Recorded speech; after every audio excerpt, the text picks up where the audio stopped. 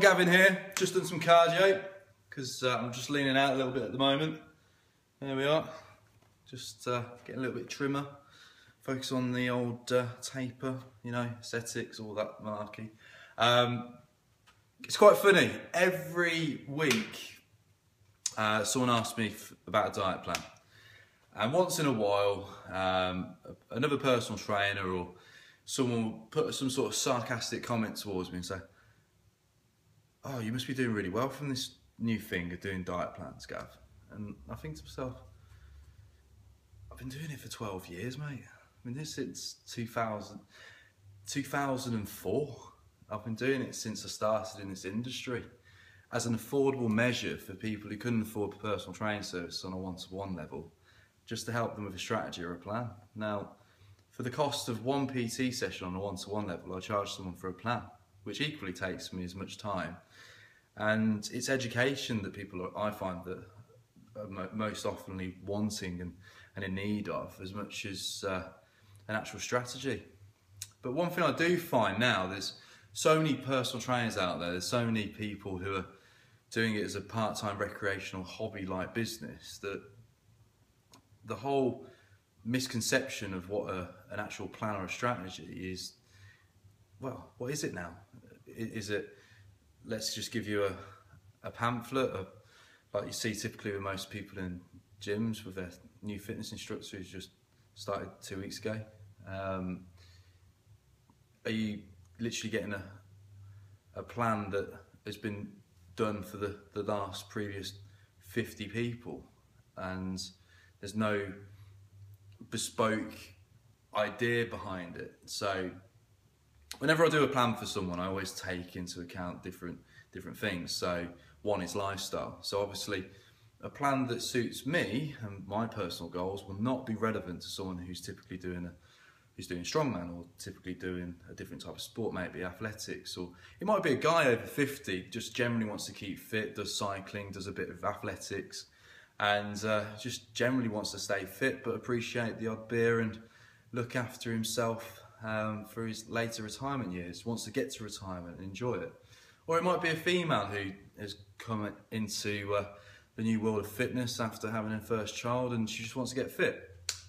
Or it might be somebody who's morbidly overweight who wants to simply lose half their body weight. I've done that, I've worked with people like that. I've gone from I've gone one client with excessive of 34 stone to down to sub 16 stone. And it comes down to strategy. It comes down to having that personalised plan and working it in timescales. Obviously, again, going back to previous videos I've done on YouTube, you can appreciate I talk a lot about uh, people who want quick fixes. And unfortunately, we do live in this Western society that everyone does want everything now. And the reality is with when it comes to your body and your health, it needs to be a lifestyle, lifelong ambition to be healthy and fit, not just something that you just pick up one minute and you drop the next.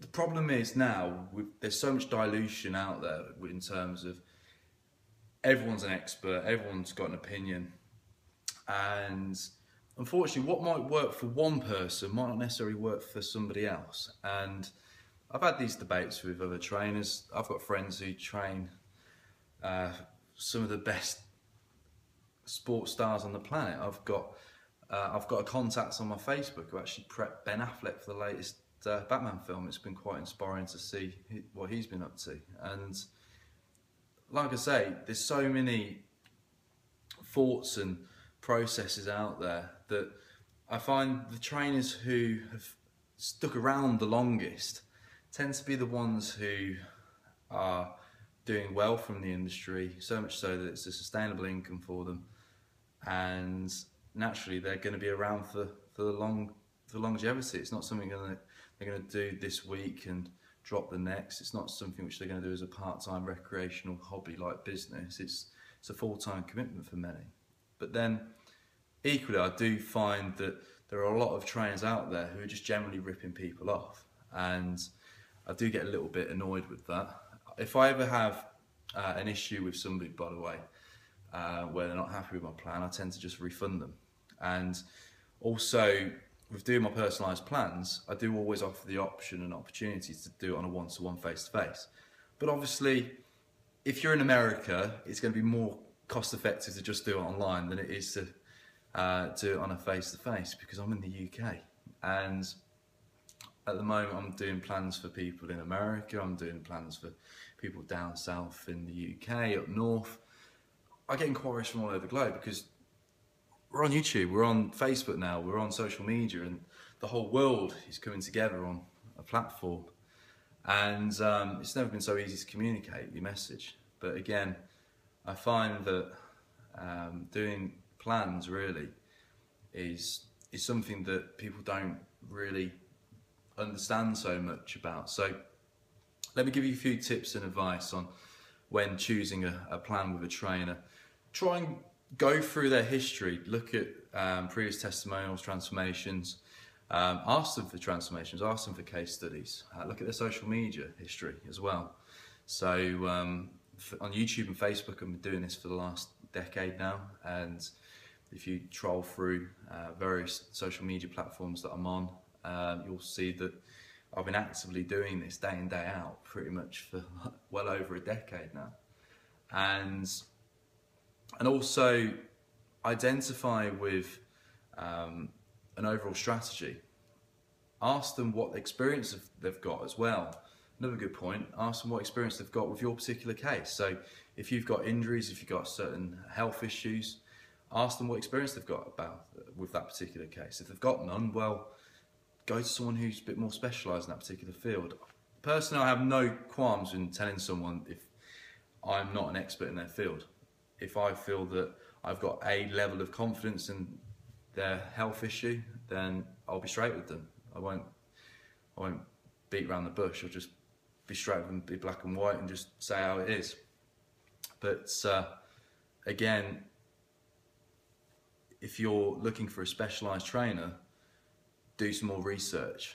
Uh, also, don't be duped into the whole Instagram and social media thing because um, being in business, I've noticed that there's a lot of celebrities and fitness stars who who buy their social media platform, who also kind of falsify their advertising by looking like they're absolutely shredded and in tip-top shape all year round. Uh, if you look at my social media, I get lean and I get a little bit, I get a little bit uh, chubby at times because I'm human. I'm a normal guy and I can fluctuate. And now I do this mount physique thing. Obviously, I'm not in prime shape all year round. I'm in peak shape for just a short period, and then I come out and then go back in again.